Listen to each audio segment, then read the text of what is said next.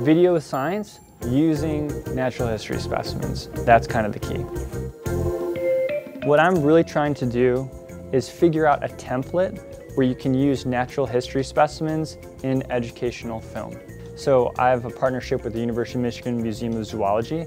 So they're allowing me to get into their collections and uh, use the specimens within their collections. I'm performing uh, independent research. I started the project about a year ago and right now we have about one and a half million followers on TikTok, quarter million on Instagram, across both platforms, around 300 million views.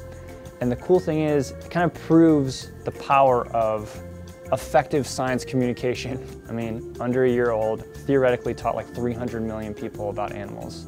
That's pretty outrageous. What I'm trying to do is find out that template, like a list of the best practices that other museums can use to produce effective educational films that's kind of backed by a bunch of data from all the videos that we're posting to kind of give out to other museums to help them educate people in their digital initiatives too.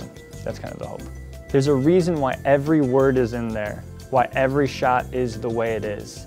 It's all to kind of test very specific strategies. If it's kind of humorous, that's what we're testing out, if that's a good strategy. If it's more factual, that's kind of what we're trying to figure out. A lot of people who work in museums are very hesitant to share this stuff because they're not sure how the public is going to respond to something like, I don't know, a dead fish or a bear skeleton or something like that.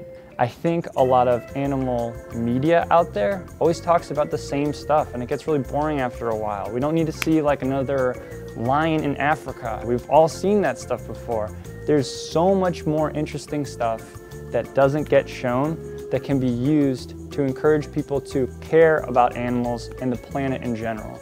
And that's what I hope I can kind of get people to feel. Any way that I can kind of get them to care a little bit more is a win in my book.